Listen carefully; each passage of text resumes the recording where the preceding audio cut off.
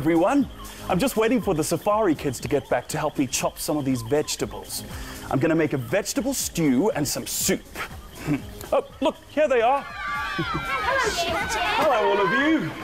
Oh, hey, Harry. What's wrong with you? I don't know, Chef Jeff. I think I've been working too hard. I feel very tired. What he means is he played soccer for an hour at school today, and then after school, he and Solomon had to go around picking up all the litter as punishment for not doing their homework. Mm. Oh, thanks, Yoli, for telling everyone. I don't think Yoli's being mean. Anyways, it's good to pick up the litter. Those children at school can be so untidy. I was only saying why Harry was so tired. I just don't have any energy. Well, I've got just the thing. Ta-da! These apples will bring your energy back. How will an apple make Harry less tired? Well, uh, let's see. Um. Okay, what gives a car its energy? You mean what makes it go? Petrol? Ugh, you're not going to give me petrol, are you? no, but you see, petrol is the fuel that a car needs to make it go. And, and food is the fuel that our bodies need to make them go. So, Harry's like a car? I always knew there was something strange about him. What, what? What's going on? They're not going to give Harry petrol to drink, are they? Humans can't drink petrol. It's poison. And why do they think he's a car? He doesn't need fuel. I'm very confused. What, what? He... You see, we all need energy. Our bodies use the food we eat to make the fuel, and that fuel gives us energy. Scientists call both food and petrol chemical energy. There are lots of different forms of energy in the world. Oh, good. So now I can go home and eat lots of chocolate cake. Uh, no. You see, some foods make for better sources of energy than others. And that apple will give you lots of energy. Enough energy for you to uh, do your homework tonight. what? Was that? It was only the door blowing closed. The wind has been very strong. The wind has lots of energy. Very true, Solomon. In fact, wind is one source of energy. What do you mean? Well, uh, when the wind blows, it, it can make things move. Hey, that's true. So wind is energy. Well, it's a, it's a type of movement energy. Energy affects things, it makes them move or change. Oops, the water on the stove is starting to boil. What's the water for, Chef Jeff? I'm going to make a vegetable stew and some soup. Uh, hmm, I just need to cut up some of these vegetables. We'll help. okay. Okay, here's some knives. There we go. One for you, one for you.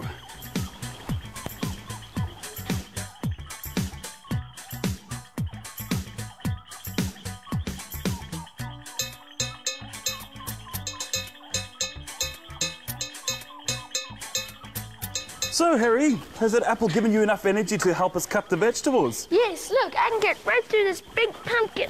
Be careful. So, are we using energy now to cut these vegetables? Yes, you are. What kind of energy? Okay, well, think about it, huh? And you too. So, when you're busy cutting the vegetables, what's doing the work? The knife. Ah, the knife is just a tool. Your hand? Oh, something is making your hand move. Do you know what it is? Your muscles. Yes, well done. So, what kind of energy are you using when you're busy cutting vegetables? Muscle energy. Yes, almost. Uh, movement energy, to be exact. I'm using so much movement energy, I'm getting hot. That's interesting. You see, Harry is using movement energy to cut the pumpkin, and that energy is being transferred into heat energy. That's why he's sweating. Energy is always being transformed from one kind of energy to another. It never disappears, it just changes from one form to another. So there's energy everywhere, but I can't see it. No, you can't see it because energy is invisible.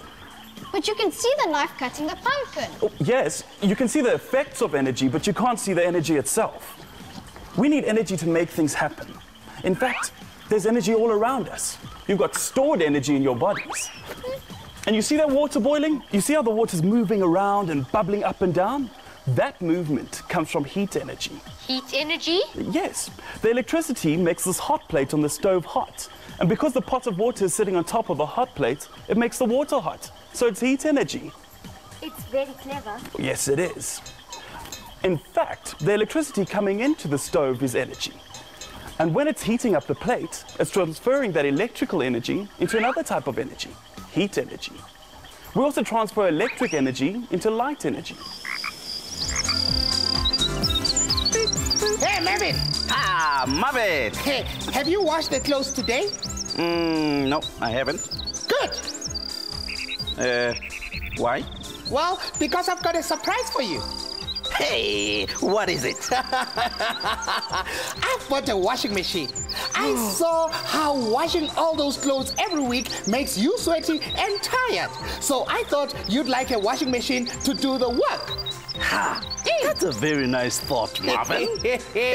I'm a very nice brother. Hmm, there's only one problem. What's that? We don't have electricity. We don't have what? Electricity? What do we need that for, Marvin? Hey, we need electricity to make the washing machine work. How do you think it works? Uh, can't we just press the start button? No.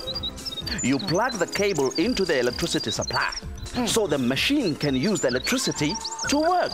Oh, so you can't use this machine without electricity. Mm -mm. No. Oh, Nice thought. But you know what would be a nicer thought, Marvin? what? If you help me with the washing every week, you lazy meerkat!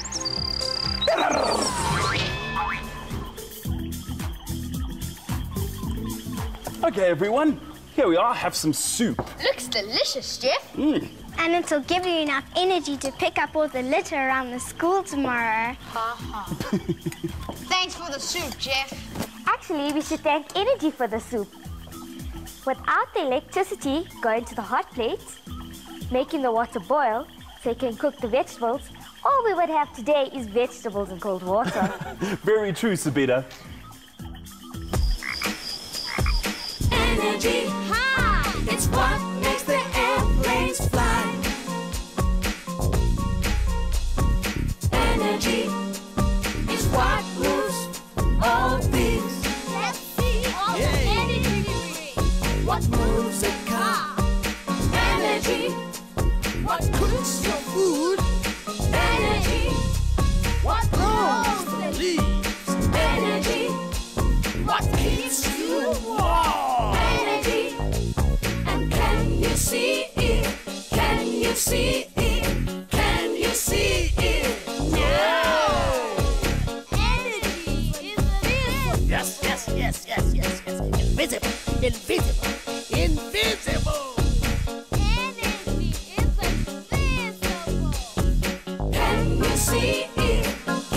You see it? Can you see it?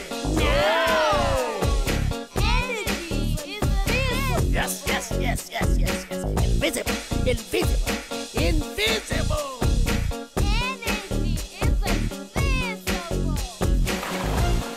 What, what? Now I understand. They were not going to feed petrol to Harry. They were saying that Harry needs food for energy, like a car needs petrol. Now I understand. hmm And I know that energy is all around us, even though I can't see it. It is always being transformed from one kind of energy to another. What, what? What a lot of land. Well, I think we learned a lot today, huh? Yeah, we have. I wonder how many other forms of energy you can find that you need in your lives every day. See you soon. Bye. Energy.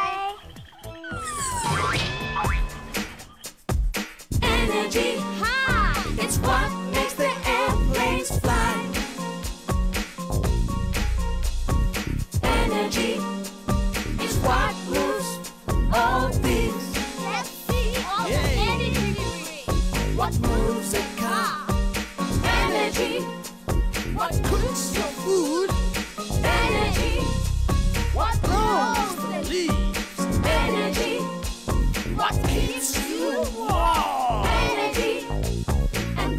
you see it?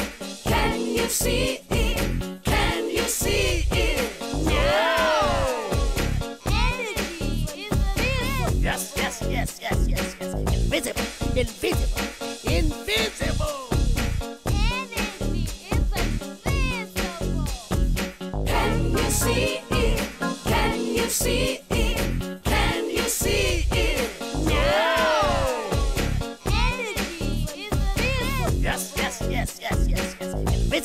el vídeo.